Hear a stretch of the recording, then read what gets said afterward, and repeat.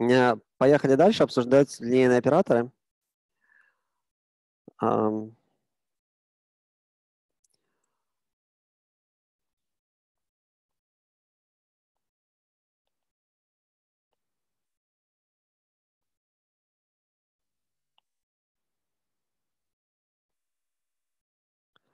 А, значит, давайте я начну с э, такого определения.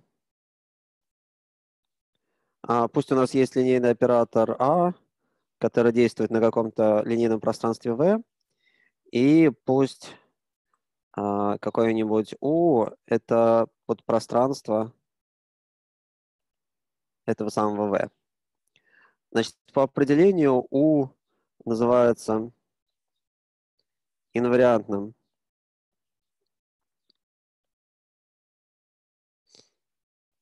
Э, под действием А,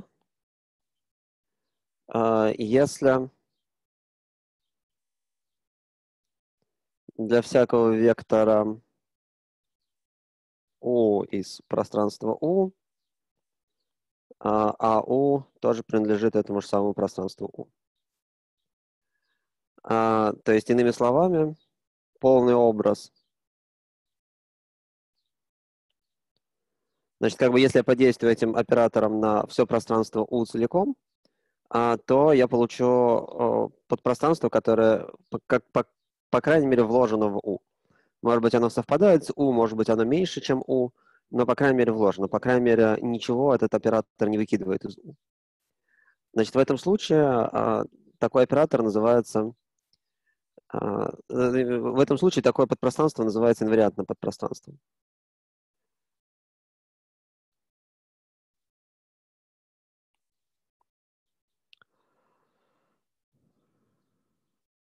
Ну, давайте пример какой-нибудь рассмотрим.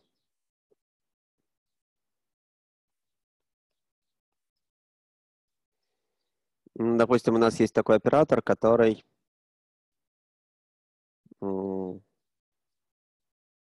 скажем, вот у нас есть оператор А, заданный такой матрицей. 2, 0, 0, 3. А какие у этого оператора инвариантные подпространства?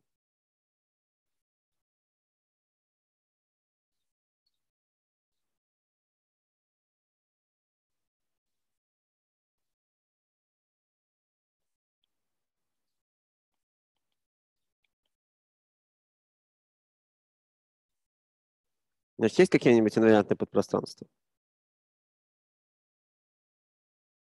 Или давайте даже вот, чтобы было веселее, давайте вот так сделаем.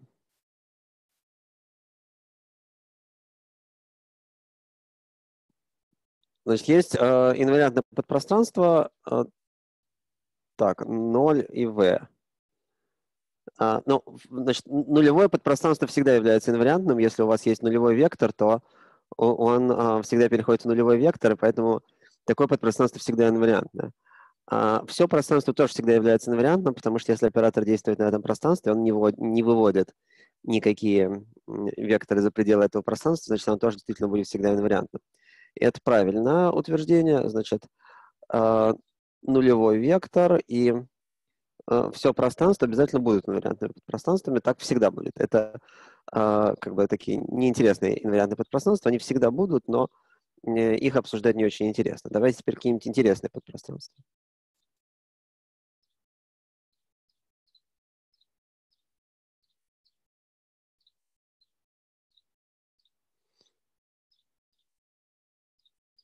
Uh, 0n. Да, значит, 0n это значит uh, подпространство, натянутое на, на второй базисный вектор. Значит, вот такая штука. А, действительно, если у нас э, есть какой-то вектор, который пропорционален второму базисному вектору, то есть любой вектор 0 что-то, а, под действием нашего оператора он переходит просто в нулевой вектор. Нулевой вектор принадлежит любому подпространству, значит, в том числе и этому. А, значит, 0. Здесь будет какой-нибудь y, допустим, я умножаю на матрицу 2, 0, 0, 2, получаю матрицу 0, 0, матрицу, э, вектор 0, 0, вектор 0, 0, конечно же, принадлежит а, вот такому подпространство. А, да, и а, подпространство, натянутое на первый байсный вектор. Вот такая штука тоже инвариантна. Если я возьму наоборот, возьму наоборот а, какой-нибудь вот такой вектор, он превратится в вектор 2x0, и вектор 2x0 тоже принадлежит линейной оболочке вот такой штуки.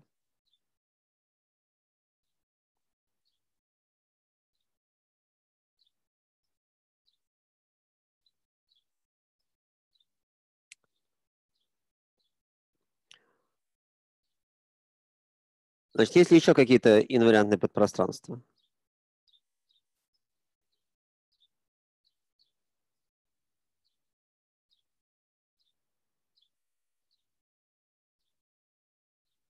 Никита говорит нет.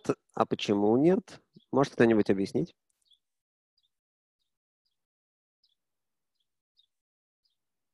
Так, с Y неправильно. А, у я матрицу неправильно написал, здесь должно быть 0. Угу. Да, поправил. Спасибо, Александр.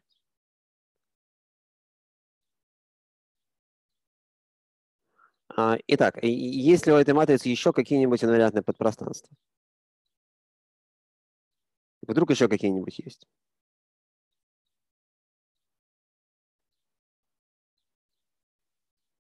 Ну, на самом деле нету, потому что, смотрите, а, во-первых, у нас все пространство двумерное, значит, нетривиальные, нетривиальные его подпространства могут быть только одномерными.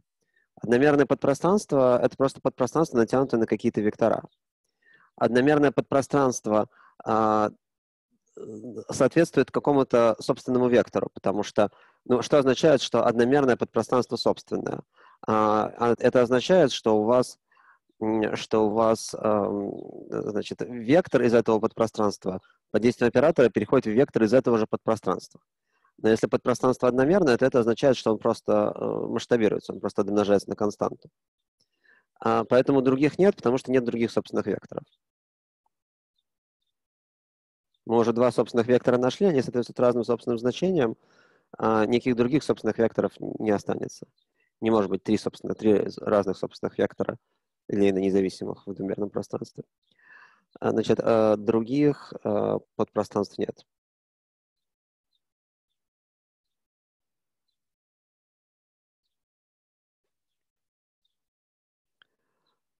Вот. Хорошо, давайте. Ну, здесь подпространства были одномерными. А, давайте а, приведем пример какого-нибудь Давайте приведем пример какого-нибудь подпространства, которое бы не было бы одномерным. Ну вот, например, давайте представим себе, что у нас такой оператор. Значит, он устроен таким образом. Он работает в трехмерном пространстве. Вот у нас здесь x1, x2, x3. И он поворачивает все пространство на какой-нибудь угол. Скажем, на угол на угол фи.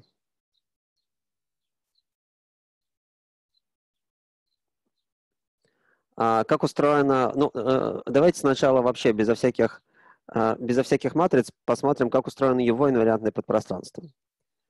А, какие они, какие они есть. Значит, э, понятно, как оператор работает? Он просто берет все пространство, вот у нас есть вертикальная ось, он берет все пространство и поворачивает его на какой-то угол.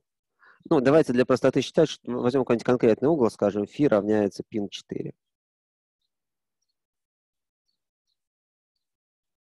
Вопрос. А что вы можете сказать про его инвариантное подпространство? Значит, А оператор поворота.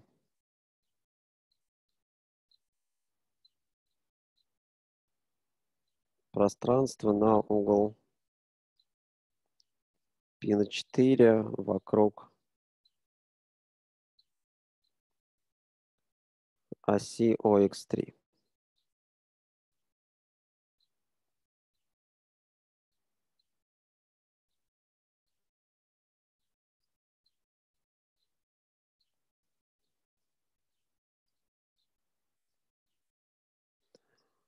А, значит, да, пока я писал э, формулировку, вы уже написали ответы. Значит, действительно, есть два инвариантных подпространства.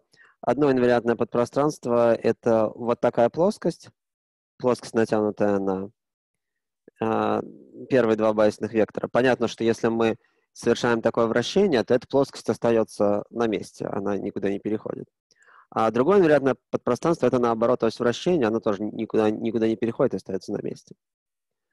А, значит, действительно, это значит, два подпространства. Одно подпространство называется вот таким.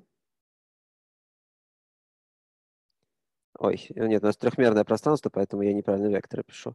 Нужно писать векторы с тремя компонентами. И вообще я путаю скобки.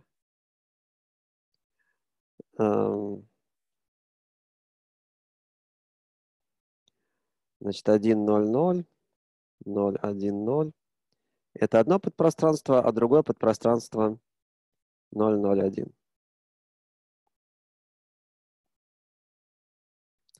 А, значит, всегда ли инвариантные подпространства дополняют друг друга до полного пространства? Прекрасный вопрос. А, давайте рассмотрим пример.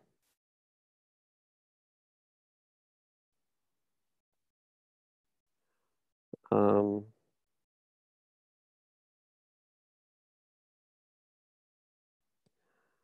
Значит, вот такой вот оператор, а, с которым, с похожим оператором мы уже сталкивались. Какие у него инвариантные подпространства?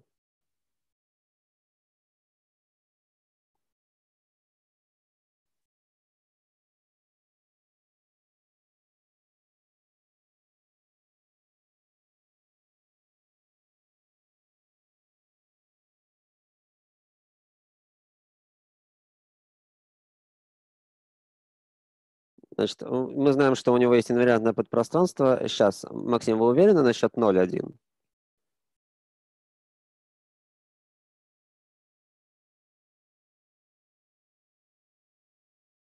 Давайте посмотрим. Вектор 0,1 куда переходит? А, вектор 0,1 переходит в вектор 1,1. Он а, не туда ушел. А, да, значит, не... вот такая штука не является инвариантным подпространством. Потому что мы взяли вектор отсюда, подействовали на него нашим оператором и э, убежали из этого подпространства. А вот э, 1.0 действительно, действительно является инвариантным. Ну, собственно говоря, потому что он потому что он собственный. 1.0 а, является инвариантным. Есть ли еще какие-нибудь инвариантные подпространства?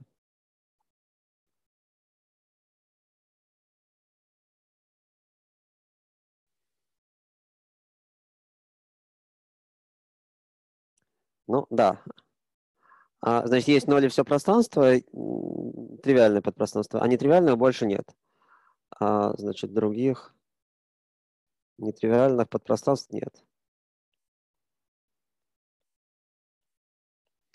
Ну, опять же, если бы они были, а, если бы они были, то у нас были бы еще какие-то собственные векторы нетривиальные. А,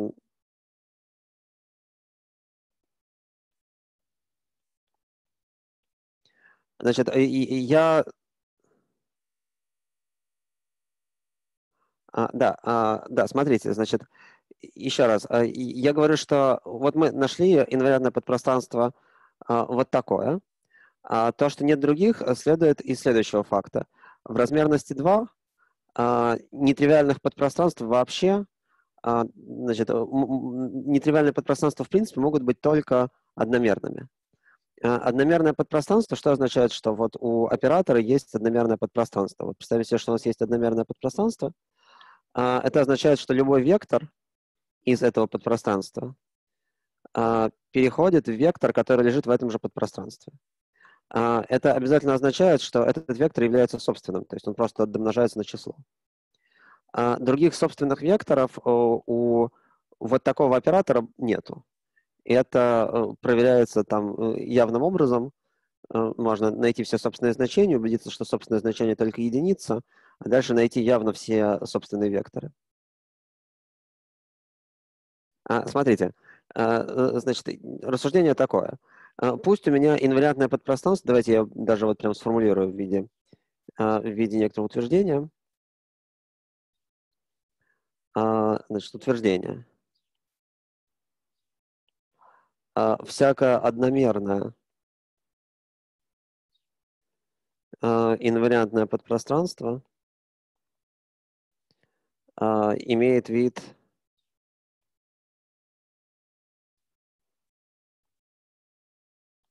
линейной оболочки одного вектора, а, а, где v собственный вектор.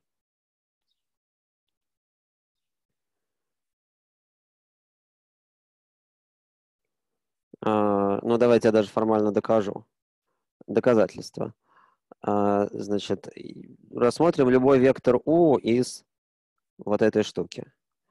А, значит, э, вектор u представляется в виде μ на вектор v по определению того, что такое линейная оболочка. А, а u а, равняется а μ v равняется μ ав. А по определению линейного подпространства, э, по определению инвариантного подпространства μ ав принадлежит снова вот такой же оболочке. А, следовательно, μ АВ равняется какому-то а, ню В. Нет, ню плохо. Дайте какую-нибудь другую букву. Альфа В.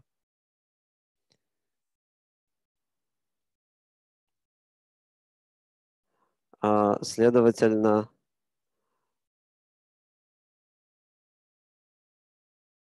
Значит, я рассматриваю здесь не нулевой сейчас вектор u, а, поэтому у меня μ пусть будет тоже не нулевое.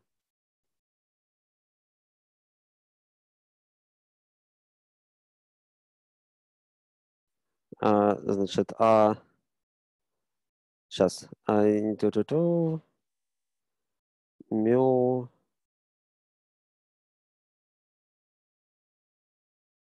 сейчас Что-то я зря, э, я зря... А, нет, все, нет, все, все хорошо, да. А, значит, следовательно, АВ равняется альфа, деленное на мю, В. А, следовательно, В собственный.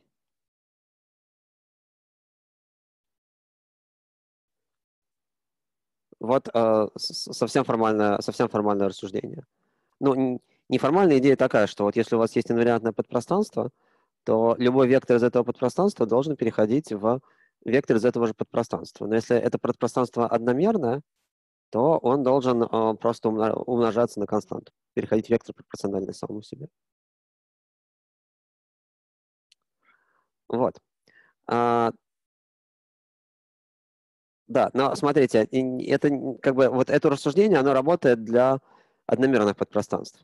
Например, вот в этом примере а, есть подпространство, которое не натянуто на собственные векторы. Это, собственно говоря, вот эта вот плоскость. А, эта плоскость — это двумерное подпространство, и оно ни на какие собственные векторы не натянуто. Ну, по крайней мере, если мы считаем, что это, ну, ну да, в общем, это подпространство уж точно не натянуто ни на какие собственные векторы. Окей. А, так, смотрите. Значит, давайте а, я сформулирую такое утверждение. А, пусть а, у вектора А есть а, камерное инвариантное подпространство. Тогда существует базис, а, в котором матрица оператора А имеет вид.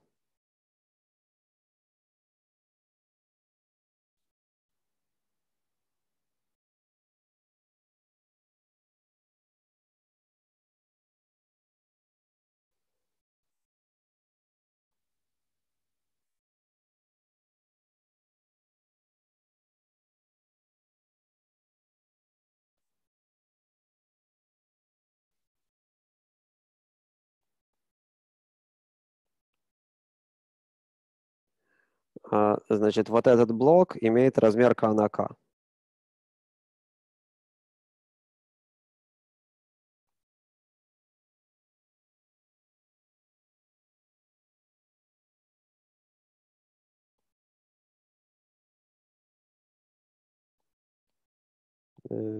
Перекрасил матрицу.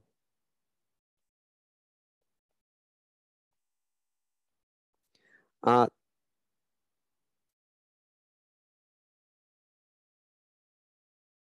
О, оператора, конечно.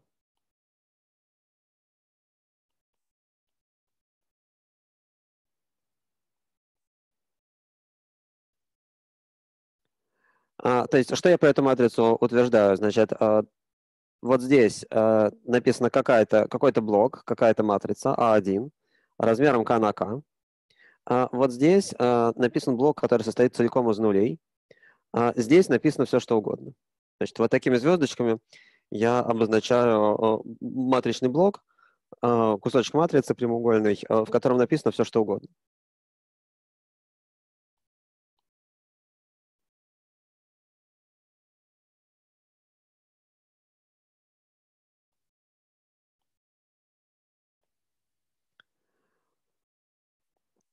Ну, давайте я как бы напишу доказательство, хотя оно в некотором смысле тривиально. А, возьмем а, базис в пространстве V.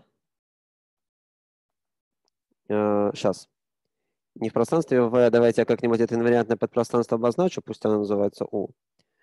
Значит, в подпространстве U этот базис обозначается E1, E2 и так далее, EK. Дополним до базиса во всем V произвольным образом.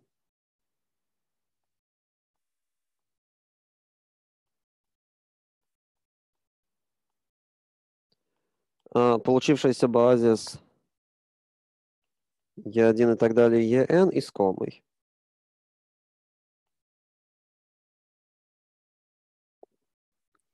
Ну, давайте посмотрим, почему это так. А, значит, э, что утверждается? Утверждается, что а, пространство, подпространство U является инвариантным. То есть это означает, что любой вектор из этого подпространства а, снова лежит, э, после того, как мы на него подействовали оператором А, образ снова лежит в этом же подпространстве. Это означает, что любой, э, это означает, что каждый из вот этих базисных векторов, которые принадлежат этому U, а, переходят в какую-то линейную комбинацию этих же самых векторов. Раз это базис, значит любой вектор из U а, представляется в виде линейной комбинации этих векторов. А, дальше, если мы запишем вектор, который представляется в виде линейной комбинации этих векторов в координатах, то у него на первых k позициях будет стоять что-то, а на последних позициях будут стоять нули.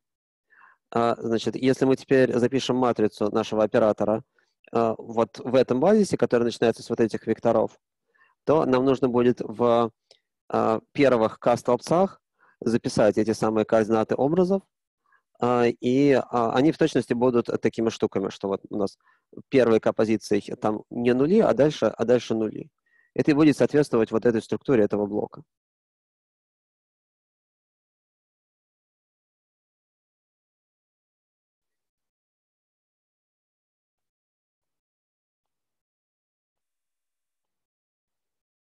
Значит, А ежиты а, принадлежит У, где Ж от 1 до К. Следовательно, А ежита равняется а, какому-то А житому первому. Сейчас неправильно я пишу, потому что а, G это будет номер столбца, поэтому пусть будет А первое житое на Е первое, плюс и так далее, плюс А катая житое на Е катая, а, плюс все остальные нули. 0 ек плюс 1 плюс и так далее, плюс 0 en.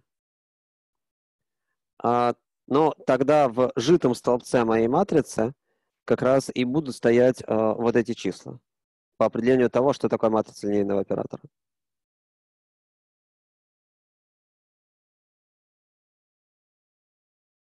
И все, доказательство на этом закончено. А понятна ли эта идея?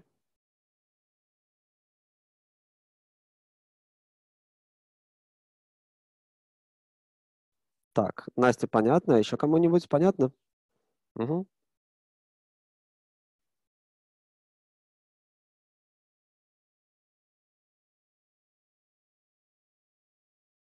Ну что, можно идти дальше. Хорошо? Да, давайте, Фархат.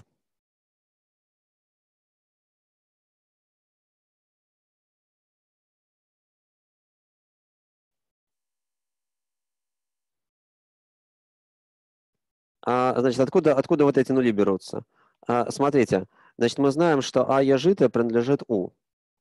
А, но У, в У а, у нас есть вот такой базис. А, поэтому если, а, если какой-то вектор принадлежит U, он раскладывается по этому базису. А, ну и, и как бы если мы смотрим на его разложение по, общ, по общему базису, то у нас уже есть, у нас мы уже разложили его по вот этому базису. Разложение по большому базису однозначно. Поэтому, как бы, если мы уже представили наш вектор в виде линейной комбинации вот этих, и никакие другие, и никакие другие нам базисные векторы не понадобились, то это означает, что в разложении по вот этому большому базису вот здесь обязательно будут стоять нули. Ну, просто потому что а, как бы вот это равенство верно до вот этого плюсика. А, ну, а, а значит, чтобы его дополнить до верного равенства, в котором будут участвовать все базисные векторы, нам тут просто нули нужно дописать.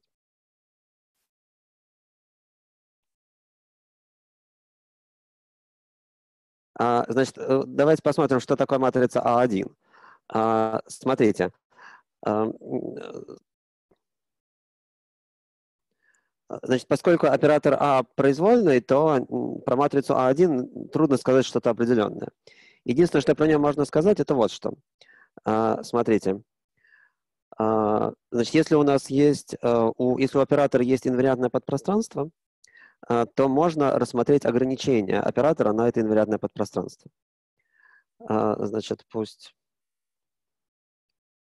у оператора А есть инвариантное подпространство.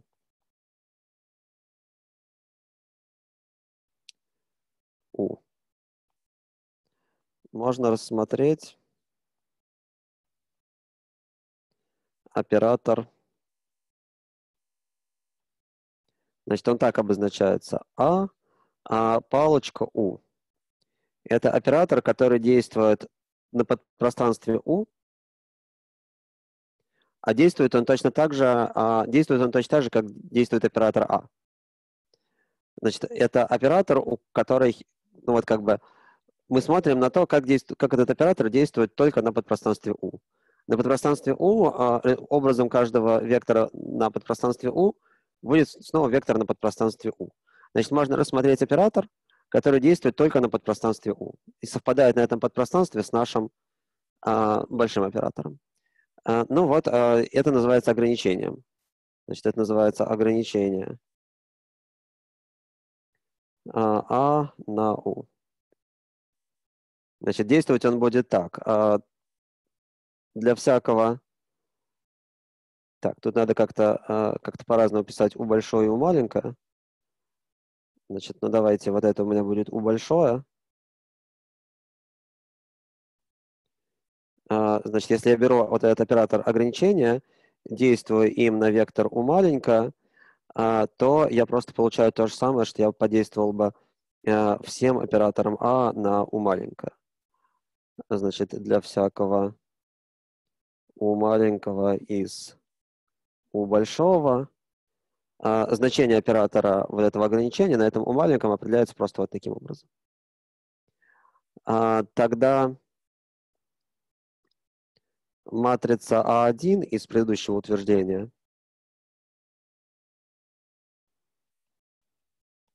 Это в точности матрица вот этого ограничения.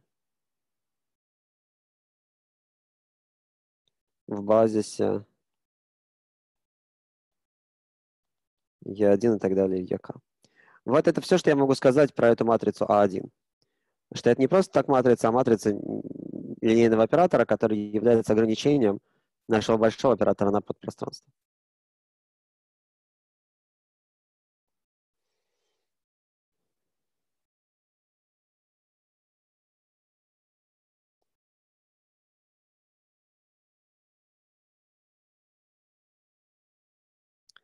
Так. А, давайте еще одно утверждение сделаю. А, пусть а, у нас пространство V раскладывается в прямую сумму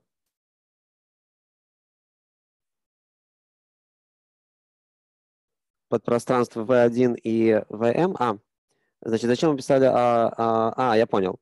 Я понял, о чем вы спрашивали. Короче говоря, матрица А, э, да, значит, вот здесь.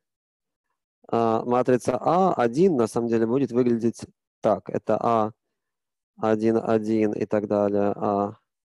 А1, АК1 и так далее. А 1К и так далее, АКК.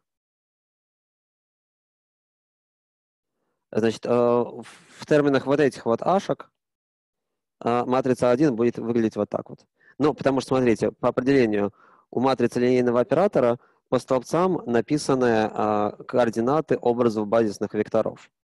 В данном случае ровно они и написаны. Значит, вот я сказал, что я смотрю на образ житого базисного вектора и получаю, что координаты его образа а, вот такие.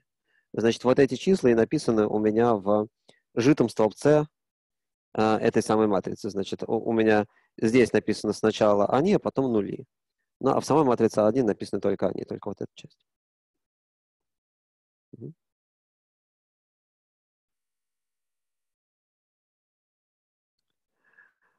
Так, ну что. А, значит, э, пусть V раскладывается в прямую сумму пространства V1 и так далее VM. Помните, что такое прямая сумма?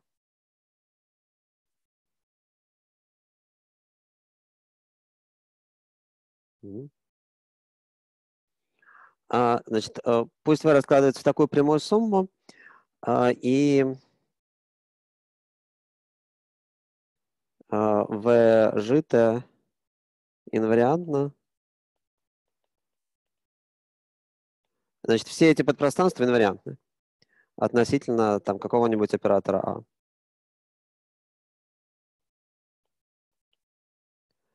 А, тогда существует базис, а, в котором оператор А задается матрицей.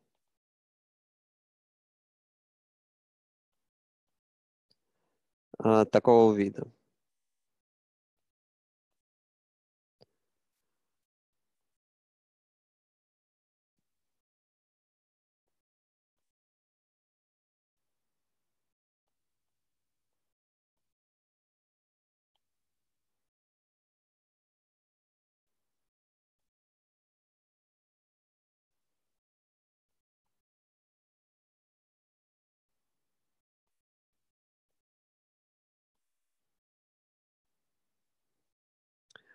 Значит, это называется блочно-диагональная матрица.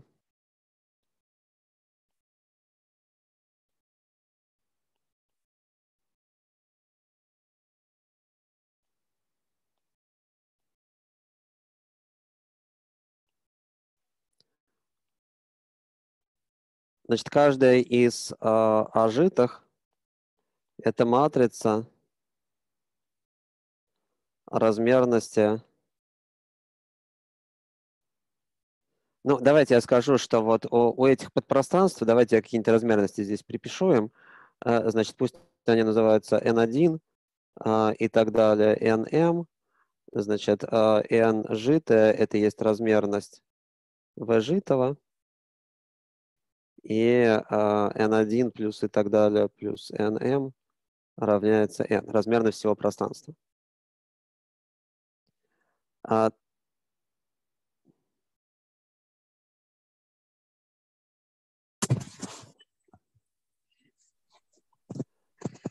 Значит, тогда матрица ажита это будет матрица размерности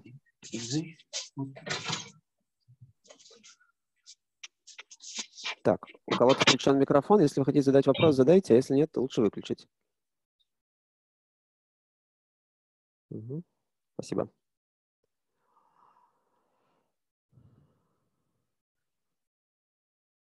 Значит, вот такая матрица. То есть у нас э, везде нули, а, кроме таких блоков на диагонали. А блоки на диагонали – это матрица размерности NGT на NGT. Ну, а как увидеть, что это правда?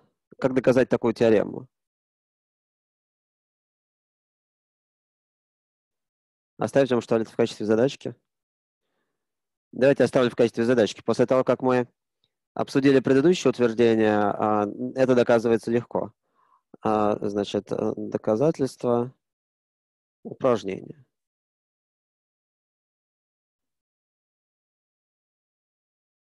Доказательство завершено. А, да, ну вот, э, значит, хорошее упражнение написать доказательство аккуратно. Вот. Хорошо.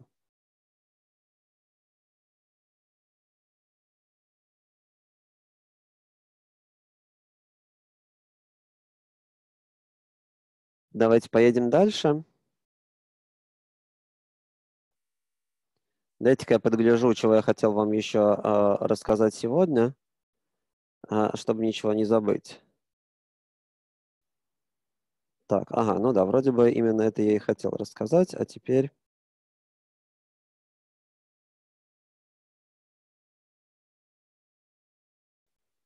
Угу.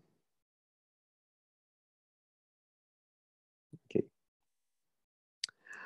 А, давайте теперь докажем такую довольно забавную теорему. А, смотрите. Вот э, мы можем делать с матрицами разные арифметические операции. Например, э, можно складывать матрицы, возводить матрицы в степени. Э, это означает, что от матриц можно считать многочлен. А вот если у меня есть какой-то многочлен,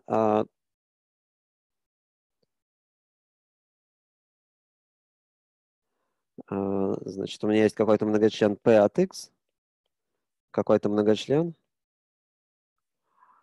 а, то я могу рассмотреть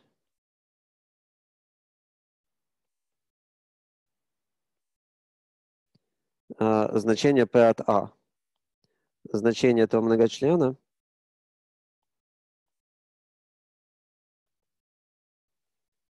на матрице А.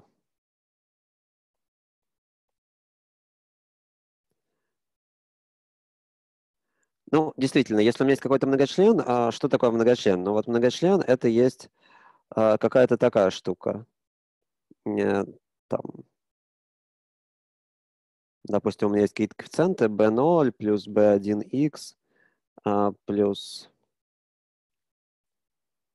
b1x квадрат плюс и так далее, плюс bnx в степени n.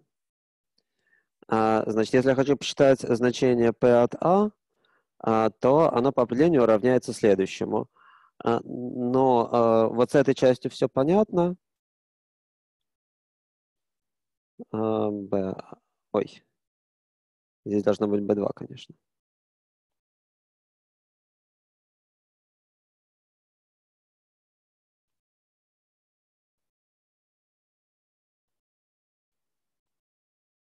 Что делать с вот этим слагаемым B0?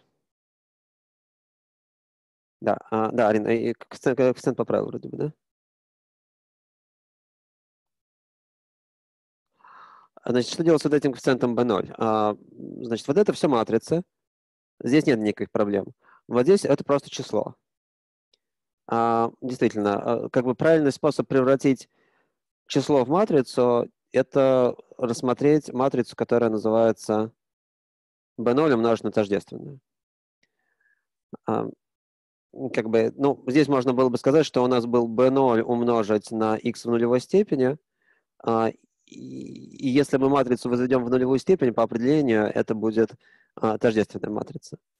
Поэтому разумно здесь написать тождественную матрицу. И таким образом определяется значение многочлена на любой матрице. Ну, тут, на самом деле, тут нужно быть немножко аккуратным, потому что ну, не всякий... А, как бы если мы подставляем матрицу многочлен, нужно убедиться в том, что а, с ним все происходит а, в порядке с этим многочленом, потому что мы с многочленами умеем делать разные преобразования, там, например, раскладывать их на множителя, еще что-то умеем делать. И нужно убедиться в том, что матрицы как бы с вот этими преобразованиями тоже дружат. Ну, что я имею в виду, почему я, почему я призываю здесь к осторожности? Давайте рассмотрим такой пример. Вот давайте предположим, что у меня есть многочлен двух переменных, от переменных x и y. Значит,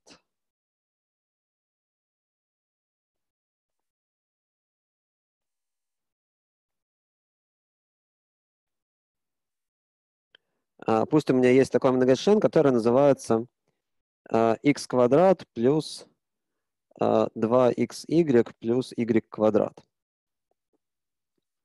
Это многочлен от двух переменных. Хорошо вам знакомый. А, а еще вы умеете его а, упрощать, я уверен. Это x плюс y в квадрате. Ну, давайте я напишу, что это какой-нибудь q от x и y.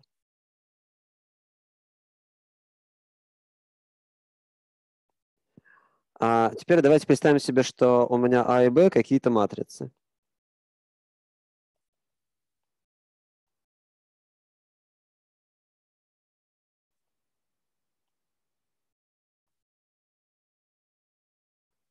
И допустим, что я хочу а, написать, что такое Q от AB.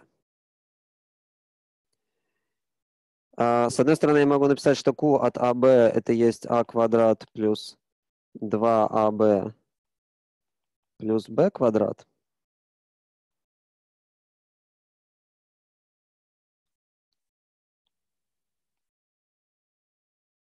А с другой стороны, я могу написать, что Q от AB ну, поскольку э, с точки зрения многочленов, вот это выражение, вот это выражение – это одно и то же.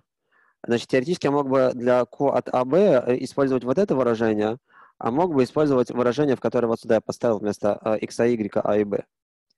А, получилось бы вот такое. А, вопрос.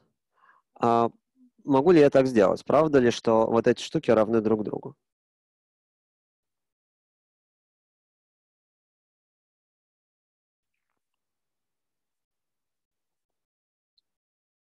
Значит, в алгебраическое равенство все верят. Вот эта штука равняется вот этой штуке.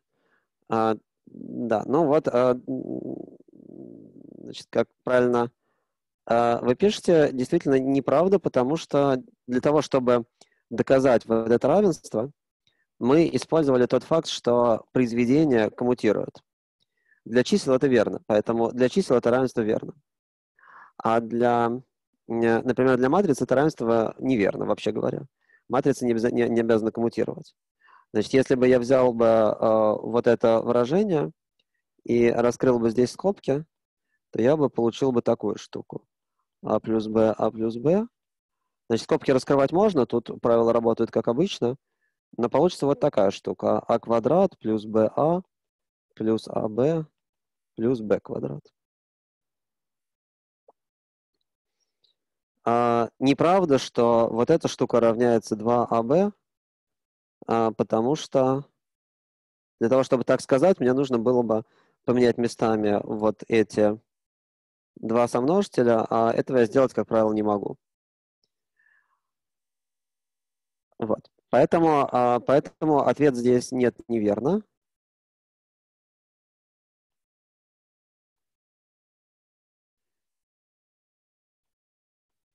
И а, в этом смысле многочлены от двух переменных с матрицами не очень хорошо дружат. А, в частности, ну вот такие вот, ну как бы они, конечно, дружат, но нужно учитывать, что а, в тех преобразованиях, которые вы делаете, а, нельзя пользоваться коммутированием.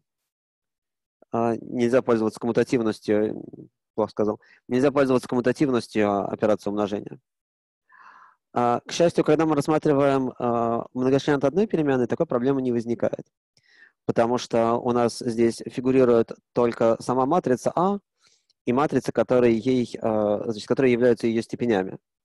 Все такие матрицы друг с другом коммутируют. Если у вас есть А в степени m и А в степени n, вы их перемножаете, получаете А в степени m плюс n. А, значит, для одной матрицы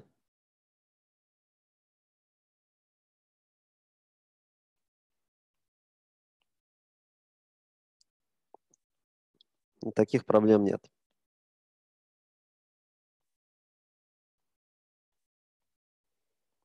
Потому что а в степени m на а в степени k равняется а в степени m плюс k равняется а в степени k на а в степени m. Коммутирует.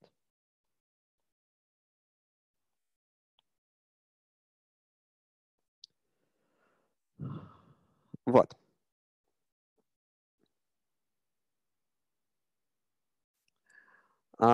Давайте теперь э, докажем такую теорему. Это называется теорема Гамильтона-Келли. Она нам для дальнейшего понадобится. Ну и плюс ко всему она довольно забавно выглядит. А, Гамильтона-Келли.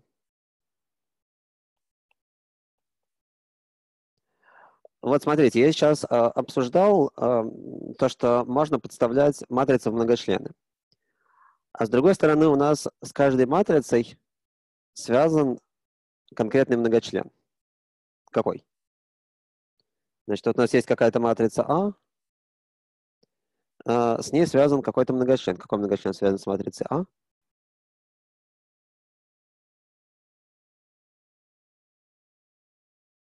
Характеристический.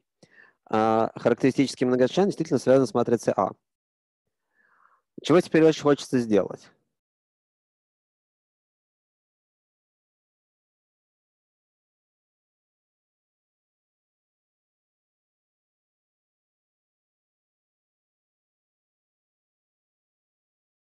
Значит, э, мы только что э, научились подставлять матрицы в многочлены. У нас есть матрица, и есть ее характеристический многочлен. Очень хочется подставить матрицу в этот многочлен. Значит, давайте хи а от лямбда это есть определитель а минус лямбда е. И очень хочется найти вот, такое, вот такую штуку.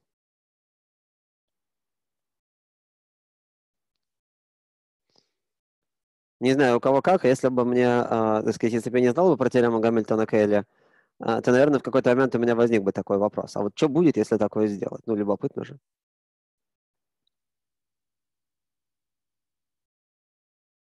Такое детское желание э, попробовать. А как вы думаете, что получается? Э, да, хороший вопрос. А так можно ли а, вообще. А, а, а почему нет? Вот смотрите, мы только что обсудили, что если у нас есть, что если у нас есть какой-нибудь многочлен, то мы туда вместо аргумента можем поставлять матрицу. А в данном случае а, вот этот самый хи а от лямбда – это характеристический многочлен. Это просто честный многочлен от лямбда. Вот возьмем вместо лямбда, подставляем нашу матрицу. Кто нам запретит? Мы свободные люди в свободной стране. Хотим, можем подставить а, матрицу в собственный характеристический многочлен. Да, действительно, получается 0. Нулевая матрица.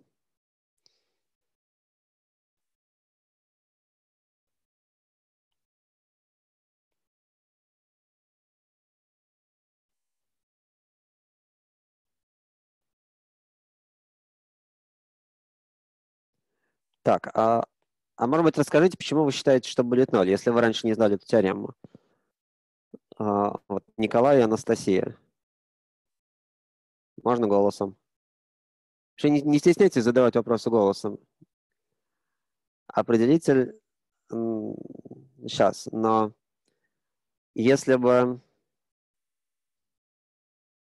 Ну, да, если бы мы бы вот, вот сюда бы вот подставили бы, сейчас, ну, непонятно, что здесь имеется в виду. Вот если бы мы бы вот сюда вот подставили бы матрицу А, а, значит, если мы вот сюда вот вместо лямбды подставили матрицу А, э, то, конечно, получился бы 0. Но э, то, что мы делаем, мы делаем все-таки немножко другую операцию. Мы сначала посчитали, мы сначала, ну, да, но все-таки все-таки совершенно не очевидно, что определитель эм, нам, нам, нам. Сейчас.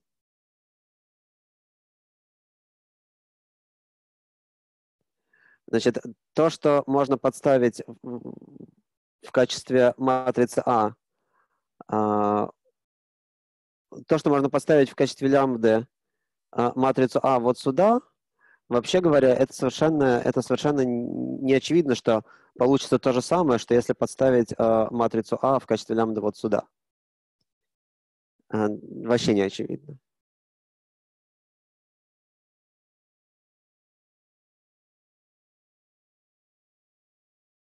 Ну, то есть, э, ну, то есть, можно легко представить себе ситуацию, когда это будет просто неверно.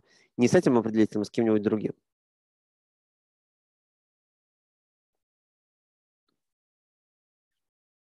Ну да, но идея хорошая, что должно получиться что-то похожее на ноль, и действительно получается ноль.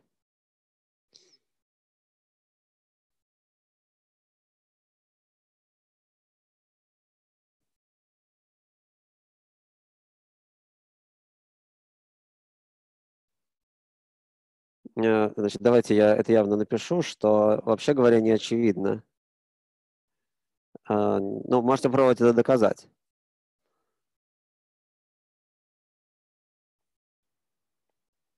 Не очевидно, что а, значит, если у меня здесь есть какая-то матрица B, ну и вообще говоря, это неверно, а, значит, то вообще говоря, неверно.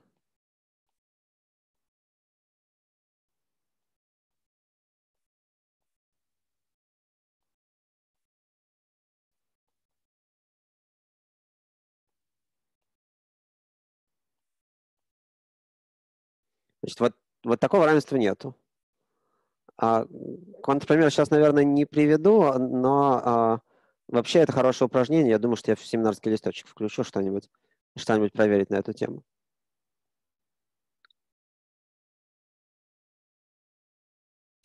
Вот. Но конкретно для матрицы А это верно.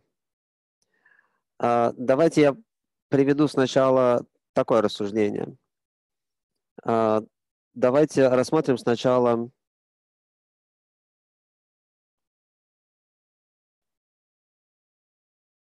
диагонализируемые матрицы.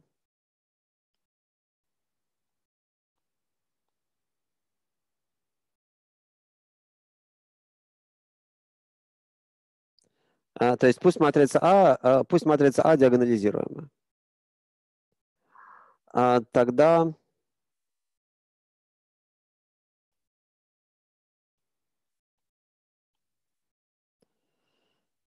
ну, э, значит, как я уже говорил, характеристический многочлен а, – это инвариантная штука, он не меняется, когда мы делаем замену базиса. Поэтому мы можем а, сделать замену базиса и вместо матрицы А рассматривать матрицу того же самого линейного оператора, но в новом базисе. А характеристический многочлен от этого не поменяется. Значит, э, перейдем в диагонализирующий базис.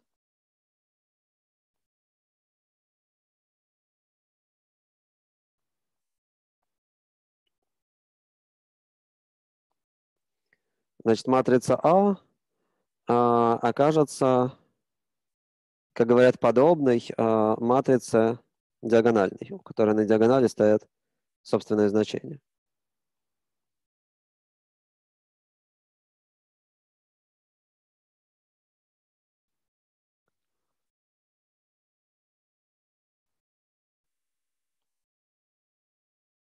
А характеристический многочлен при этом матрицы а, будет устроен так.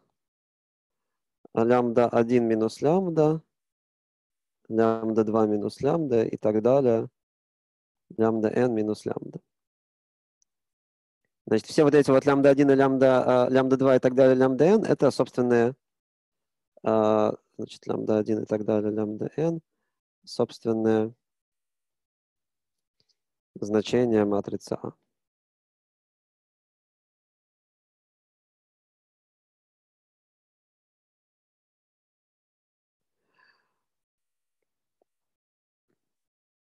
Ну, а, давайте а, подставим нашу матрицу в такой характеристический многочлен. А, чего получается? Хи А от А получается такая штука. Значит, вот здесь у нас будет такая матрица. У нее вот здесь вот будет написан блок, который состоит из сплошных нулей. Даже, даже не блок, это просто одно, одно число. Значит, вот здесь будет 0, 0, 0. Ну, а здесь дальше будет лямбда 2 минус лямбда. А, сейчас.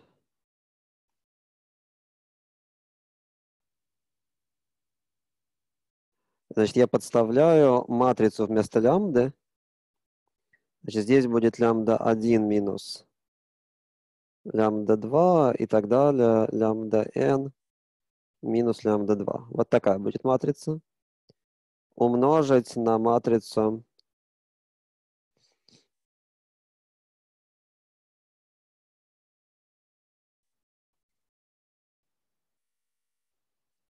Сейчас здесь будет не 0, здесь будет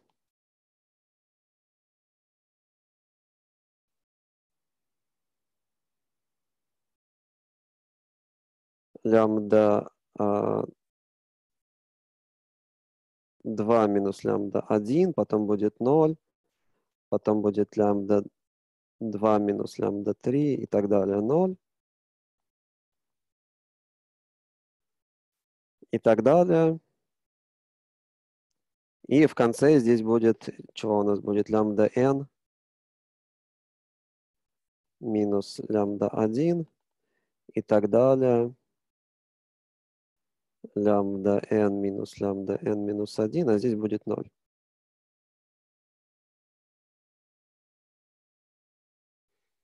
Первый множитель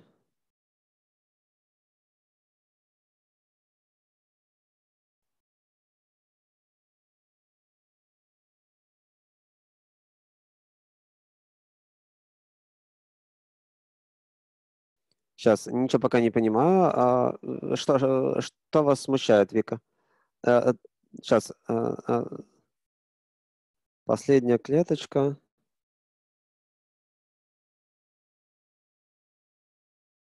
А, ну да, конечно. Ерунду я какую-то написал. Значит, мы вычитаем из лямбда 1, мы вычитаем лямбда n. Вот так. Так, сейчас, смотрите. Давайте, э, давайте еще раз объясню. А, значит, во-первых, а, перешли, в, перешли в диагонализирующий базис. Матрица стала вот такой. Дальше. А, характеристический, характеристический многочлен, ну и исходной матрицы, и этой матрицы, они одинаковые, он вот такой. Значит, лямбда 1, лямбда 2 и так далее, лямбда n – это конкретные фиксированные числа. А, дальше. Я подставляю мою матрицу А, но я подставляю ее в, а, значит, в характеристический многочлен, но написано вот в таком виде.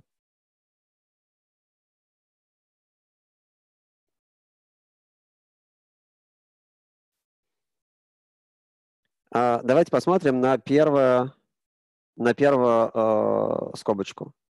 Значит, здесь написано следующее. Здесь написано, что я должен ну, а, опять же, мы всякий раз числа заменяем на а, число, умноженное на э, единичную матрицу. Давайте я напишу поподробнее. Значит, вот у меня есть матрица А, которая есть вот такая, диагональная. Дальше, что такое, значит, если я в выражение лямбда 1 минус лямбда подставлю в качестве лямбда, подставлю матрицу А а, то это означает, что я должен рассмотреть лямбда 1 умножить на тождественное отображение минус, а, ой, минус а.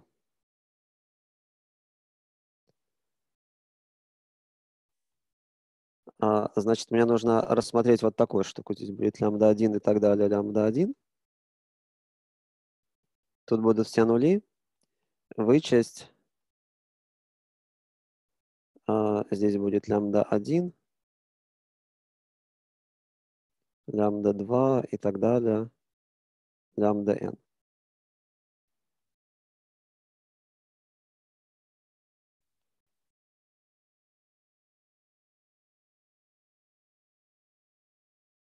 Так, в нижнем правом углу нули.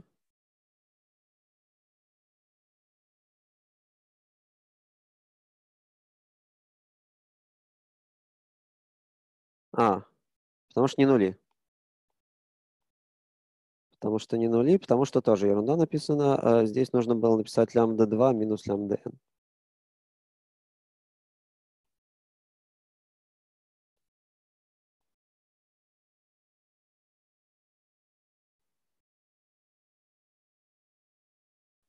Так, давайте посмотрим еще раз на всю картинку.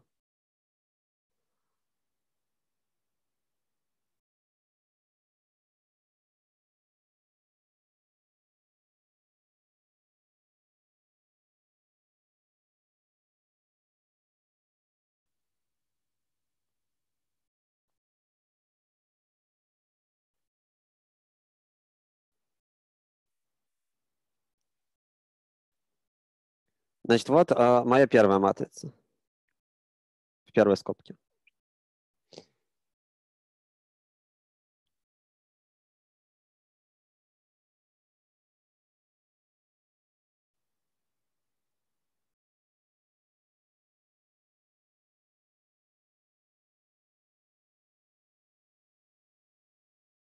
Э, как, понятно? Угу. Хорошо. В общем, после того, как я исправил все ошибки, видимо, стало понятнее. А, окей. А, теперь смотрите, значит, а, как устроена такая композиция? А, давайте посмотрим. Значит, первая матрица обнуляет а, последний базисный вектор. Она переводит последний базисный вектор в ноль. Вот здесь стоят сплошные нули. А, дальше. А, каждая из матриц, на самом деле, просто обнуляет соответствующий базисный вектор. А. Все векторы пропорциональны соответствующему базисному. Поэтому, когда вы их примените последовательно, примените их композицию, то у вас получается, конечно, полностью нулевая матрица. Вы все векторы прибили таким образом. Значит, то есть, э, смотрите, что я сейчас хочу сказать. Хочу сказать, что у меня каждая, каждая из этих матриц устроена таким образом. Она а, один, а, один вектор переводит в ноль, один из базисных векторов переводит в ноль, а все остальные базисные векторы а, переводят только друг в друга. То есть у нее есть вот такое инвариантное подпространство, которое она переводит в ноль, а все остальное пространство, оно, там ее, ее дополнение, оно никуда не переводит, оно тоже инвариантное. А, и так далее. То есть мы таким образом каждый из подпространств переведем в ноль, каждый из базисных подпространств. А, значит, понятно сейчас это рассуждение или не очень?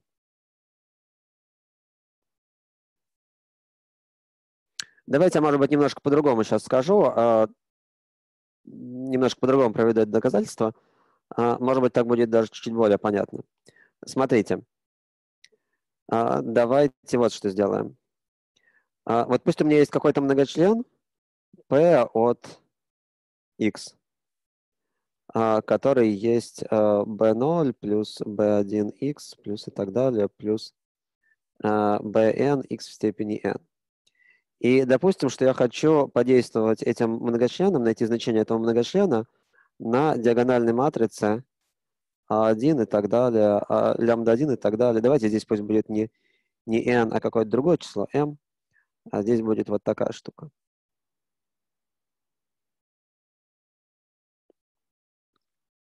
Значит, заметим, что если я возведу вот такую матрицу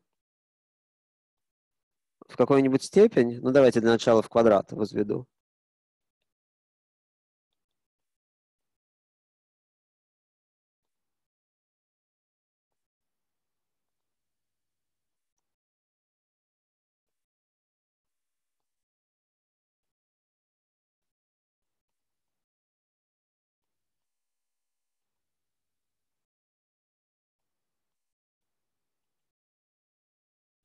Значит, что получится? Ну, у вас была домашка, в которой вам нужно было диагональные матрицы в разной большой степени возводить. А, значит, что получается, если я возвожу диагональную матрицу в квадрат?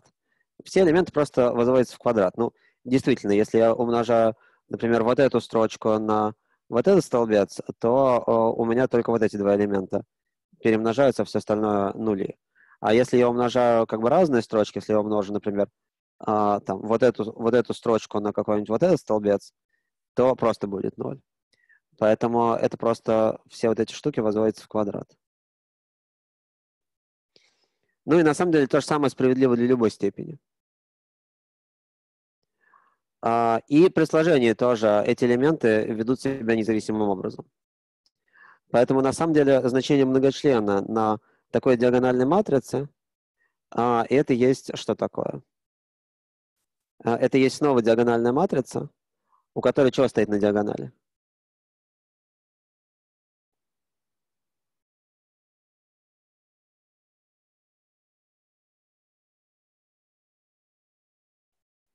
Значит, если я теперь хочу написать э, вот такое равенство, значит, вопрос, что стоит, например, на, на первом месте?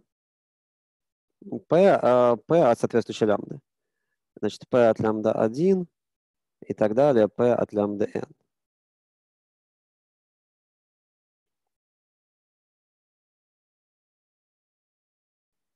Понятно, почему так?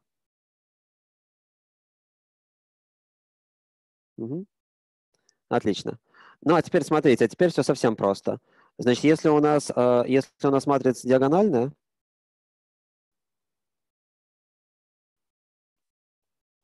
и если мы э, подставляем ее в характеристический многочлен, то получается, что мы в характеристический многочлен здесь подставили каждое из собственных значений. А с другой стороны, э, чему равняется значение характеристического многочлена на собственном значении матрицы.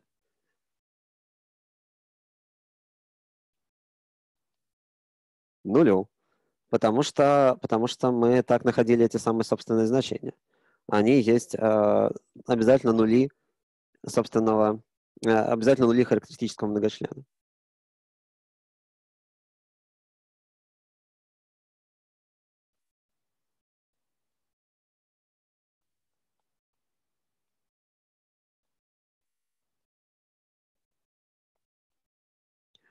А, все, значит, мы, а, я, я скажу так, теорема Гамильтона Келли доказана, а, теорема Гамильтона Келли доказана для диагональных матриц. Точнее, даже не только для диагональных, а для диагонализируемых.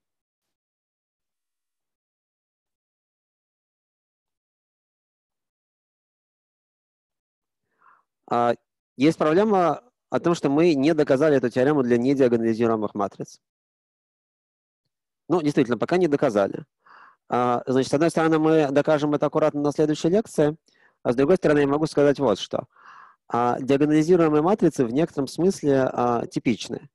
Значит, э, если вы напишете абы какой многочлен, то у него, скорее всего, не будет кратных корней. У него, скорее всего, все корни будут разные. Утверждение о том, что у многочлена есть кратные корни, означает, что два корня э, или больше, ну как хотя бы два, совпали. Утверждение о том, что что-то с чем-то совпало, это как бы э, такое очень ограничительное утверждение. Его, если мы немножко э, пошевелим наш многочлен, то мы обязательно его разрушим. А, поэтому, в принципе, можно показать, что э, все диагонализируемые матрицы, э, как говорят, плотны во всем пространстве. То есть вы можете взять любую недиагонализируемую матрицу, немножечко ее пошевелить, и получить диагонализируемую матрицу. А с другой стороны, значение, с другой стороны, сам по себе характеристический многочлен – это непрерывная функция от матрицы. И значение характеристического многочлена от матрицы, посчитанное на этой же самой матрице, это тоже непрерывная функция от матрицы. Таким образом, мы получили непрерывную функцию, которая а, почти во всех точках, почти во всех матрицах обращается в ноль. А, значит, она должна и на тех исключительных матрицах, которые не диагонализируемы, тоже обращаться в ноль. А, значит, я сейчас не претендую на то, чтобы я э, доказал полностью это рассуждение. а, значит, его можно довести до правильного, но нужно доказать несколько фактов, связанных с значит, матрицами многочленными, и у меня нет никаких элементарных доказательств для этого фактов. А, поэтому вместо этого я на следующей лекции дам вам другой доказательство теоремы Гамильтона Келли, который будет обслуживать в том числе не, не диагональные матрицы автоматически. Вот. Но, тем не менее, вот эта идея э, тоже, мне кажется, довольно полезная, что нам на самом деле достаточно было доказать этот факт только для диагональных матриц, а для диагональных матриц он доказывается просто. Вот. Э, теорема Гамильтона Келли нам на, на следующей лекции еще понадобится. Есть ли какие-нибудь вопросы по сегодняшней лекции?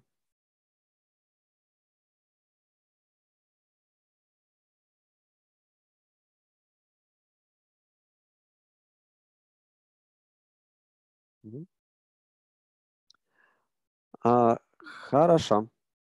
Ну что, тогда на сегодня все. А, до встречи через, когда там, во вторник.